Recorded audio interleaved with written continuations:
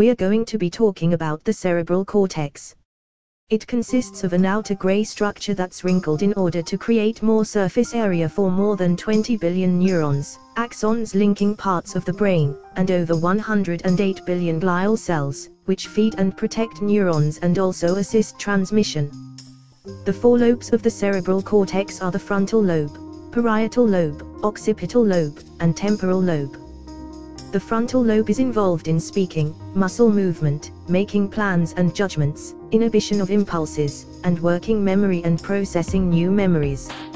Phineas Gage, an American railroad construction foreman, had a metal rod shot through his skull during a work accident, damaging part of his frontal lobes.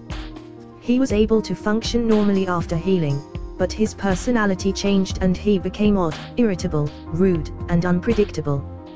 This case leaves us with the explanation that damage to the frontal lobes could result in loss of ability to subdue impulses and inflect emotions. Parietal lobes include the sensory cortex.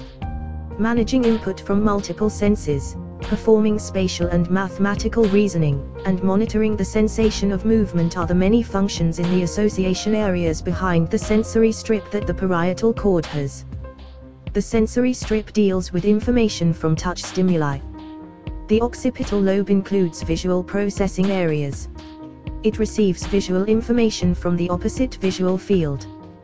The temporal lobe includes auditory processing areas. Some of the abilities these lobes manage in association areas are recognizing specific faces and managing sensory input related to sound which helps the understanding of unspoken words. Memory, language, attention, consciousness, and meditating and spirituality are whole brain association activities that require communication among association areas across the brain. Association areas are found in all four lobes. The motor cortex is an area at the rear of the frontal lobes that controls voluntary movement, such as waving or high-fiving someone.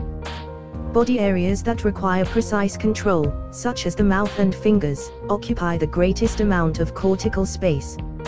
The sensory cortex is located at the front of the parietal lobes and registers and processes body touch and movement sensations. The more sensitive the body region, the larger the sensory cortex area devoted to it. For example, your lips project to a larger brain area than your toes.